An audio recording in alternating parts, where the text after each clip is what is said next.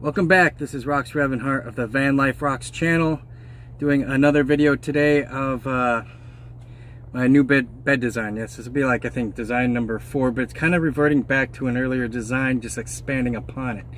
Uh, if you remember, if you've seen the video of the previous video of using the milk crates as support, well, I used a custom box I made to kind of support this bed design instead of the milk crates just being a little bit more sturdy but it was actually so it can fit in between the two middle seats so that I can still have all passenger capacity as well as ability to fold everything into a bed.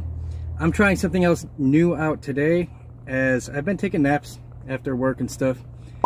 Not going full time in this vehicle just yet, but I have found a little discomfort with that design, so I'm trying to try something else. Plus, I've acquired a second twin like bed mattress. So I'm gonna see what I can do with that. I'm thinking of going back to the milk crate design, removing the, the two middle passenger seats and extending the bed that way. Um, this gives me less uh, ability to transport people, but it gives me a lot more comfort when sleeping. And hopefully I can work with the versatility of both. But I'm gonna try this design and show you guys what I'm talking about right now. Stay tuned. So as you approach the vehicle, this is the the bed design I've kind of gone with other than I did have the inner seats still left in there but now they're uh, taken out to try expanding upon this design. As you can see instead of the milk crates I'm using a custom made wooden box that I built. Uh, this has been comfortable where I just put my feet on the folded chairs and I can lay lengthwise but um, it's just still a little uncomfortable. It works in a pinch to where I can use both uh, purposes of the vehicle for transporting people as well as taking my my midday nap for work and all that. So this is the bed. I'm going to expand upon this since I've acquired a second mattress. So let's see what happens. So there you have it. Reintroducing the milk crates that I borrowed from the cargo space up front, up on the roof. I uh, now have another platform for the second uh, twin mattress or whatever this is. Uh, came off of children's bedding. I'll have to take a look at how big it is, but I believe it's just a twin like crib mattress kind of thing. It's basically cheap memory foam that works great for what I'm doing. I have not taken it out of the plastic just yet because I'm just testing this design for the first time. I just quickly covered it up with a blanket just to kind of make it showcase the idea. Kind of like the big uh, full mattress I had the long way, only this because it's two mattresses I can actually fold it on top of itself and set it in the bedding area when not in use and put back the bucket seats for using for transporting people. So let's check it out. All right. So we're laying down now on my new bed design. This is actually much much more comfortable. So I'm laying down full length as you can see and it's a lot more comfortable. So that said in mind, I might just go with this design. I kind of dig it. It gives me extra storage.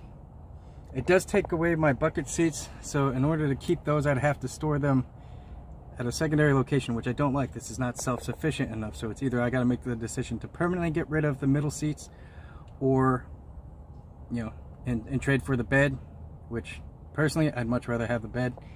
Uh, but I don't know if I want to compromise that just yet. So as I'm saying with this design, we are comfortable now, but I can't transport as many people. So I got to make a compromise here. Stay tuned. And in conclusion, it does work. It's much more comfortable. I'm using milk crates as extra storage, you know, but what I would change in the design right now, going beyond just setting it as an example, is I would take my homemade box either remove it and add four more crates or take it and move it as an end cap and slide these up so that the wooden box being a little heavier will hold everything in place much better so it doesn't just slide around if, which I haven't had a problem with yet because the carpet kind of holds things in place.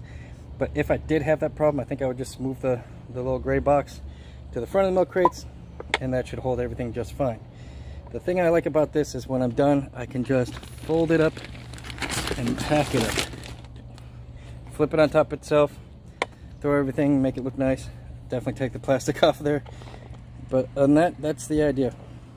I've done a lot of these uh, bed design videos because that's because I am still trying to figure out which design on a minivan I prefer the best that serves as many purposes as possible for both transporting people as well as being comfortable for what I need for my needs.